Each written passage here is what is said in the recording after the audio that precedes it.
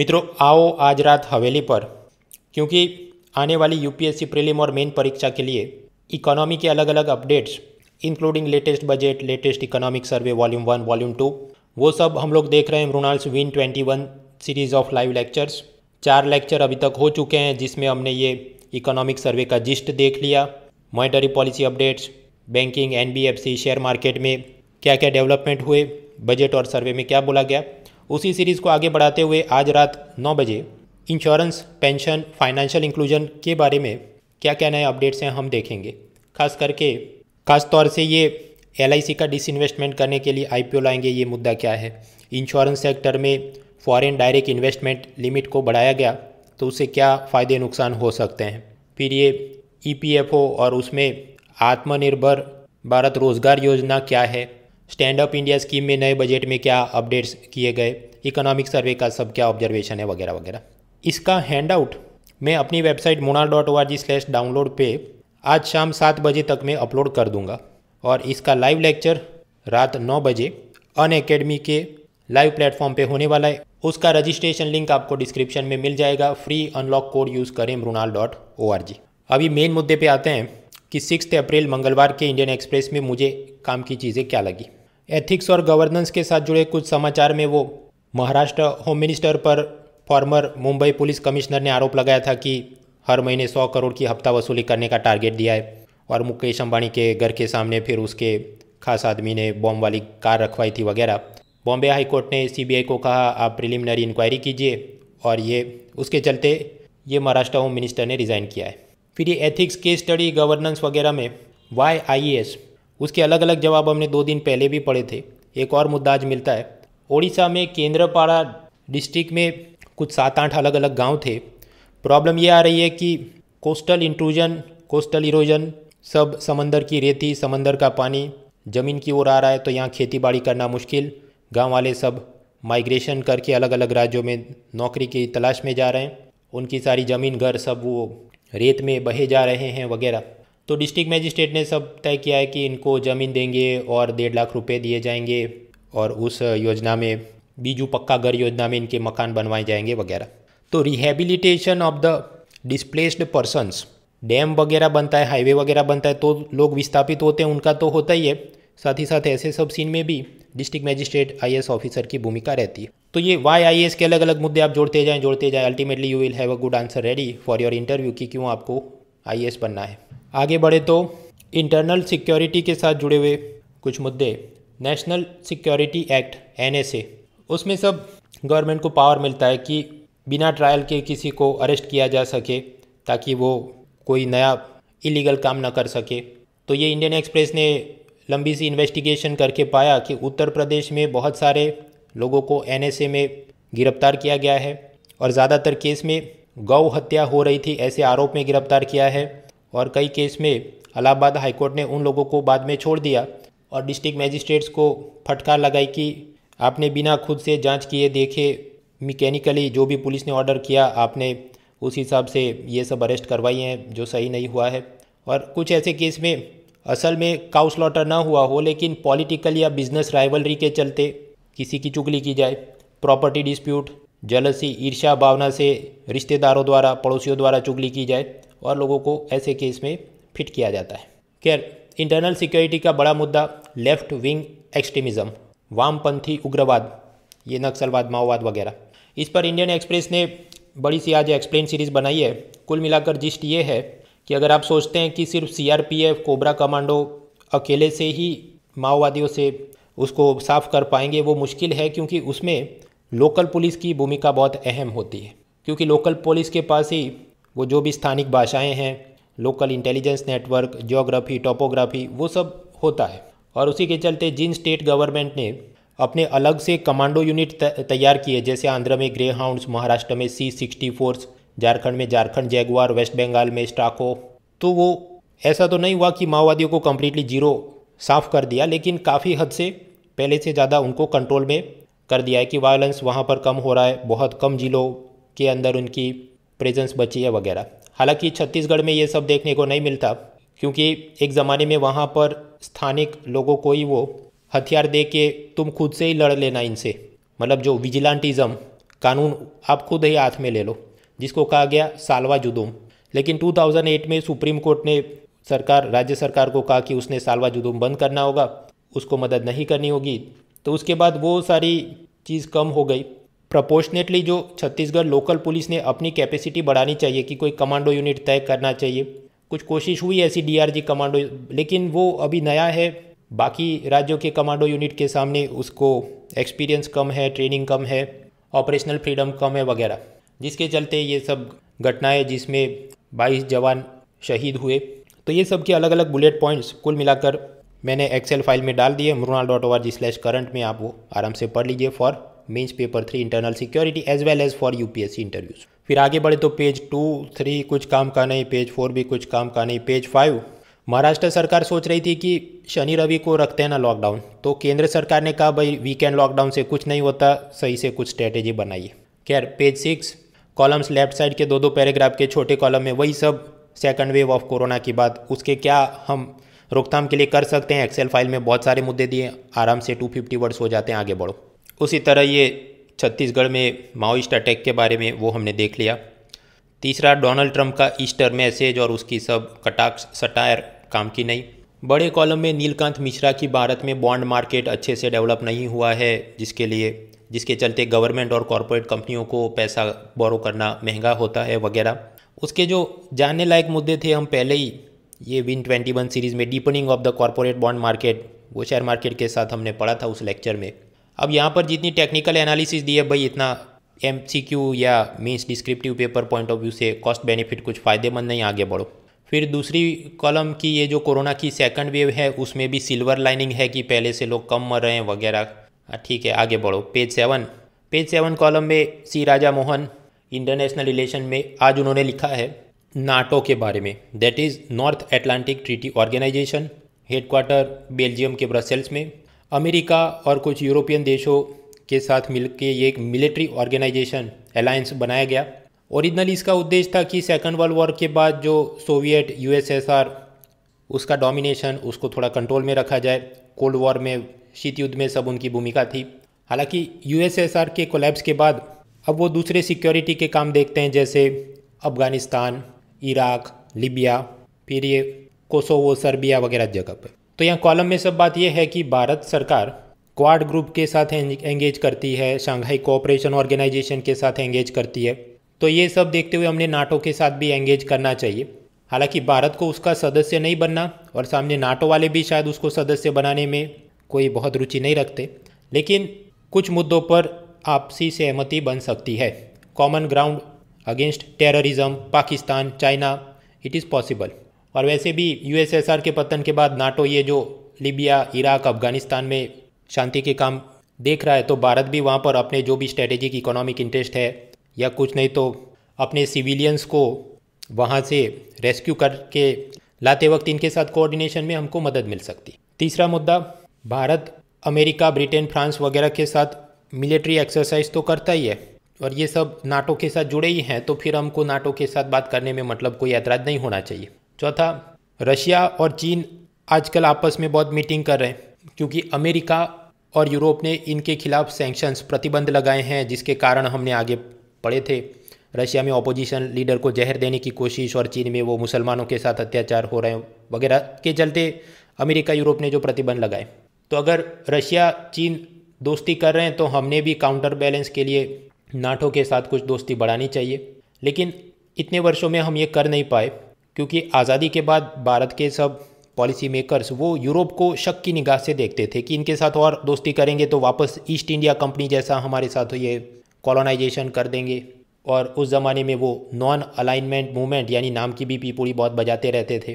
कुछ कोचिंग वाले आज की तारीख में भी वही पीपुड़ी बजाते रहते हैं। बिना मेंस पेपर टू का एनालिसिस किए कि जब से मोदी सरकार आई है तो अभी लेटेस्ट क्या चल रहा है? कंटेम्प्रेरी इशू के बारे में पूछा जाता है। NAM is an outdated topic yet कुछ हैं कोचिंग वाले जो दो दो पाँच पाँच घंटे वही पढ़ाते रहते हैं, क्योंकि उनको अपना कंटेंट अपडेट नहीं करना। तो उसमें आपने आशिक नहीं बनना है, आपने एग्ज़ाम के हिसाब से थोड़ा थोड़ा तैयार करके आगे बढ़ो भाई। आज की तारीख में NAM is not even worth may be twenty minutes of reading उससे ज़्यादा उसमें टाइम नहीं जाना चाहिए आपका। और दूसरा कि भारत के पॉलिसी मेकर यूरोप को मतलब वो एक सिंगल मोनोलेथिक ब्लॉक है, एक पूरा खंड है, ऐसा सोचते हैं but it is not the case उसमें अलग अलग समूह हैं उनकी अलग अलग अपनी प्रायोरिटी होती है, उस हिसाब से हमने उनके साथ दोस्ती करनी चाहिए। जैसे वो वाइस ग्राड फॉर जिसमें चेक रिपब्लिक हंगेरी पोलैंड स्लोवेकिया है नॉर्डिक रीजन जिसमें Denmark Norway Sweden Finland Iceland है तो उनकी अपनी प्रायोरिटी सब अलग चलती है। फ्रांस और जर्मनी उनका अलग से कुछ अलायंस और वो यूरोपियन यूनियन के बाकी देशों के साथ, उनकी अपनी चलती है कि क्या माइग्रेंट्स के साथ होना चाहिए, क्या फीजल डेफिसिट होनी चाहिए यूरोपियन यूनियन की वगैरह। एंड लास्टली यूरोपियन यूनियन खुद अलग और ब्रिटेन उनसे अलग हो गया ब्रेग्जिट के बाद तो उन दोनों की अपनी प्रायोरिटी अलग है। तो ये सब देखते हुए उन सब के साथ अलग अलग हमने एंगेज करना चाहिए और वो सारे दोस्त उसमें से जितने नाटो के प्लेटफॉर्म पे मिलते हो तो वहाँ से बात शुरू करें और फिर आगे बढ़े। सो इट कैन हेल्प हाँ तो भारत और यूरोप के रिश्ते स्ट्रेटेजिक एंड इकोनॉमिक इंटरेस्ट वगैरह के ज़रूरत के हिसाब से आप मेंस पेपर टू निबंध और इंटरव्यू में ये सब लिख और बोल सकते हैं। उसके बाद दूसरी कॉलम में पाकिस्तान ने जो शुगर और कॉटन इंपोर्ट करने में पहले कहा हाँ फिर ना यू टर्न ले लिया, उस पर कॉलम लेकिन कॉलम पढ़ के नया जानने को कुछ नहीं। वही सब पुरानी बात, इंदिरा गांधी और 1972 में ये हुआ था, शिमला अग्रीमेंट वगैरह वगैरह। आगे बढ़ो। तीसरा कॉलम है बीजेपी लीडर विनय सहस्त्रबुद्धे। कुल मिलाकर वही बात की प्रताप बानू मेहता सरकार के खिलाफ लिखते हैं, और फिर यूनिवर्सिटी वालों ने कुछ बोला उसको, और उसने रिज़ाइन किया, वो सब कॉमेंट्री चले भाई कुछ काम के नहीं। आगे बढ़ो। पेज एट राशि भविष्य काम का नहीं। Page nine and ten politics के समाचार कुछ काम के नहीं। पेज इलेवन बड़ी सी एक्सप्लेन सीरीज़ माओवादियों के बारे में, जो मैंने आपको बताया समरी मैंने एक्सेल फ़ाइल में डाल दिया, देख लो आराम से। फिर दूसरी बड़ी एक्सप्लेन सीरीज़ है सऊदी ने क्यों ऑयल शिपमेंट का प्राइस बढ़ाया? भाई, ये सब बॉल बाय बॉल कॉमेंट्री काम की नहीं लॉजिक से फिट करो और आगे बढ़ो। पेज ट्वेल्व वर्ल्ड न्यूज़ में अपना मेंस पेपर टू वहाँ पर पॉलिटी में कंपेयरिंग कॉन्स्टिट्यूशंस तो रशियन कॉन्स्टिट्यूशन में नए अमेंडमेंट्स संवैधानिक संशोधन। पुतिन ने यह प्रपोज किया है कि मुझे दो और बार कार्यकाल मिले ताकि 2036 तक मैं ही यहाँ का लीडर बना रहा। हूँ दूसरा अंतर्राष्ट्रीय जो भी नियम, कानून समझौते होंगे, उसके सामने रशियन कानून सर्वोपरि होगा। तो मतलब क्लाइमेट चेंज के नाम पे कुछ बोल दिया या ये विपक्ष के लीडर को जहर दिया और तुम international sanction रखाओगे। Whatever our law is supreme हम उस हिसाब से काम करेंगे। और उसी तरह ये रशिया और वहाँ पर ऑर्थोडॉक्स चर्च, परंपरावादी वो क्रिस्ती समुदाय, वो पॉलिटिक्स में महत्व रखता है। तो belief in God will be our core value और उस हिसाब से सेम सेक्स मैरिजेस, ये सब समलैंगिक शादियाँ वगैरह वो यूरोपियन यूनियन बोल सकता है कि फ्रीडम जोन है एलजीबीटी के लिए, लेकिन वो सब इधर नहीं चलेगा, ये रशिया है। तो रशिया के बारे में सीधा प्रश्न न भी पूछे जाए। लेकिन ये अभी अपनी आज़ादी को 75 ईयर्स तो मतलब हमें क्या गर्व है भारतीय होने पर या हमारे कॉन्स्टिट्यूशन की क्या विशेषताएँ हैं? तो अपना इच्छा दिखाने के लिए सामने आप उसको कॉन्ट्रास्ट करना होगा कि देखिए वहाँ पर ये सब चीज़ें हैं। On the other hand we are doing the matters in this manner secularism देख लो होमोसेक्सुअलिटी के बारे में सुप्रीम कोर्ट के जजमेंट देख लो। सुप्रीमसी ऑफ़ इंडियन लॉ वो बराबर है, लेकिन साथ ही साथ क्लाइमेट चेंज के बारे में वीमेन एम्पावरमेंट के बारे में अगर कोई इंटरनेशनल नॉर्म्स होते हैं तो उसको भी हम भारत में लागू करते हैं, वगैरह वगैरह। फिर प्लेसिस इन न्यूज़ में ट्रॉपिकल साइक्लोन सरोजा इंडोनेशिया और ईस्ट तिमोर में तबाही मचा रहा है।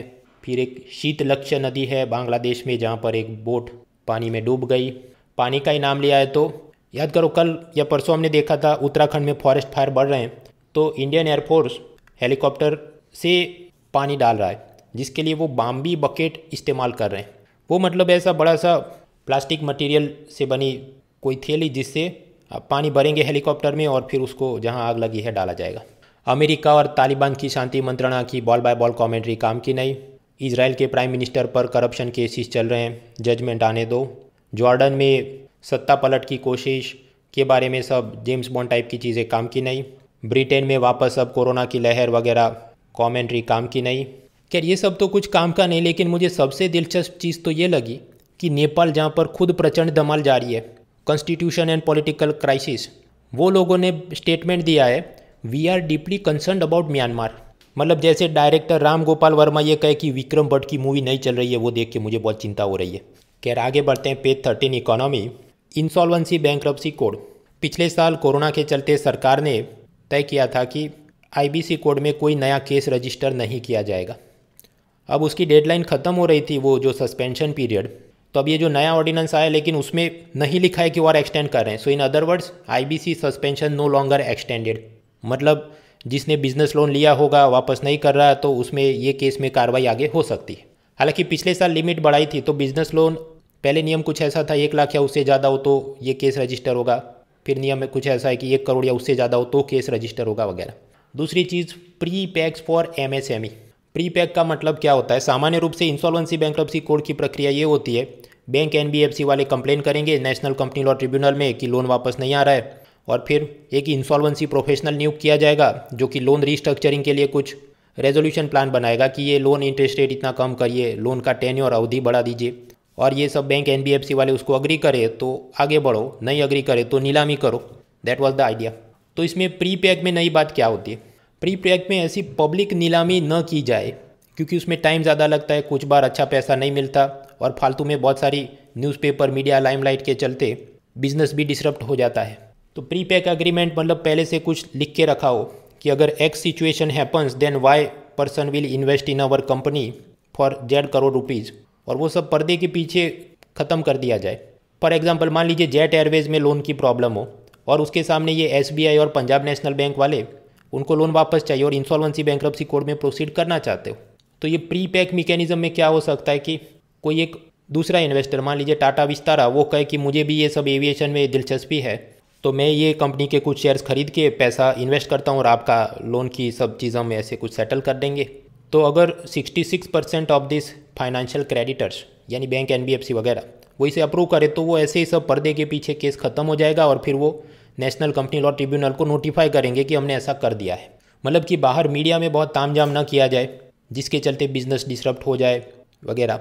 एक बात, अब कुछ बार ये भी हो सकता है कि टाटा विस्तारा जेट एयरवेज में इस तरह पैसा इन्वेस्ट करने की बात करे, जिसके चलते बैंक एनबीएफसी का पैसा मान लीजिए सौ करोड़ की रकम और रिकवर हो जाता हो। लेकिन कंपनी के जो ऑपरेशनल क्रेडिटर्स होते हैं ऑपरेशनल क्रेडिटर मतलब ओसी जैसे ये जेट एयरवेज वो भी अब हवाई जहाज़ में जो भी खाना मिलता है हवा में तो उसका जो भी ब्रेड बटर सप्लाई करने वाले जो सप्लायर होंगे, या उसका जो भी सीट कवर कुशन बनाया होगा, वो सब कंपनी वाले, उनका बकाया पैसा बाकी हो तो उन सबको हम कहते हैं ऑपरेशनल क्रेडिटर्स हाँ तो टाटा विस्तारा की मान लीजिए ऐसी डील के बाद ऑपरेशनल क्रेडिटर्स का पैसा फिर भी बकाया रहता हो, सौ करोड़ में वो ख़त्म नहीं होता हो तो फिर स्विज चैलेंज की जाएगी। स्विज चैलेंज क्या होता है? उसमें फिर ओपन बिडिंग प्रोसेस की बाकी सब कंपनियों को भी बोला जाए, जैसे इंडिगो स्पाइस जेट वगैरह। आर यू इंटरेस्टेड वो अगर मोटी रकम ऑफ़र करें तो टाटा विस्तार को हटा के उसका जेट एयरवेज के साथ कुछ पार्टनरशिप करवाया जाए। तो ये सब कुछ नए रिफॉर्म्स की बात चल रही है। ये सब बैंकिंग से आगे बढ़े तो budget taxation American president Joe Biden का ये कहना है कि कंपनियों पर कम से कम 28 परसेंट कॉरपोरेशन टैक्स लगाया जाए और धीरे धीरे उसको कुछ बढ़ाने का भी शायद वो सोचते होंगे। तो उनकी US treasury secretary Janet Yellen उनका ये कहना है कि जी ट्वेंटी ग्रुप के सभी देश आपस में कुछ तय करें ग्लोबल मिनिमम टैक्स क्या होगा।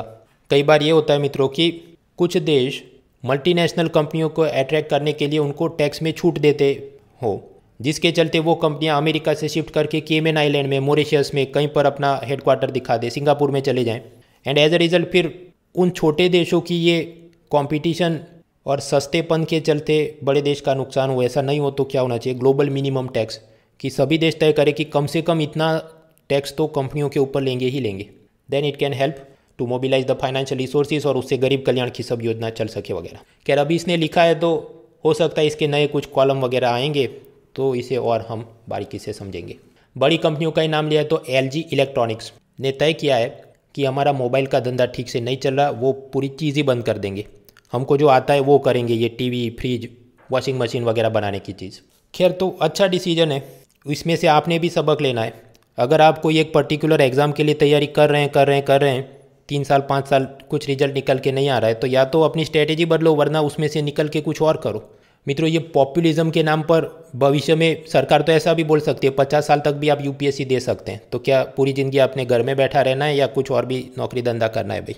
So either you be serious and clear the exam और यू डू समथिंग एल्स ये LG ने डिसीज़न लिया, लेकिन तब तक उसको साढ़े चार बिलियन डॉलर का नुकसान हो चुका था। इसके अलावा सब स्टार्टअप बिज़नेस, जी के की बातें बाईजूस ने किसी को एक्वायर किया स्विगी स्विगी को कहीं से फंडिंग मिल रहा है, वो सब कैट आई के इंटरव्यू की तैयारी तो आपने तैयार करना चाहिए, वरना आगे बढ़ो page fourteen sports page fourteen sport में भी एक ऐसा केस है, ये IPL में दिल्ली टीम के कोच हैं रिकी पॉन्टिंग और उन्होंने उस टीम के ये बैटिंग ओपनर पृथ्वी शॉ को कुछ कहा कि तुम्हारे रन कम हो रहे हैं, तुम ज़रा नेट प्रैक्टिस ज़्यादा करो। लेकिन ये शॉ कुछ ऐसा बोल रहा है कि मैं नेट प्रैक्टिस भी नहीं करूँगा और मैं बैटिंग भी नहीं करना है मुझे आज। तो ऐसी बात हुई कि किसी को आप बोलो कि तुम यूपीएससी प्रीलिम के लिए पढ़ाई ज़्यादा करो तो वो कहे नहीं मैं, पढ़ाई भी नहीं करूँगा और इस साल मेरी तैयारी कम है तो मैं अटैम्प्ट भी नहीं दूँगा। तो फिर तो भाई आपका कल्याण कुछ हो नहीं सकता। आपके द्वारा सिर्फ़ कोचिंग क्लास का कल्याण हो सकता है, क्योंकि उनकी रोजी रोटी ऐसे सब बाबू सोनों से ही चलती है भाई। तो ये था मंगलवार का न्यूज़पेपर और बाकी आओ आज रात हवेली पर, जहाँ Mrinal's win twenty one economy update lecture series में हम लोग, ये पेंशन इंश्योरेंस फाइनेंशियल इंक्लूजन वगैरह की क्या नई योजना budget economic survey announcement FDI वगैरह मुद्दे देखेंगे।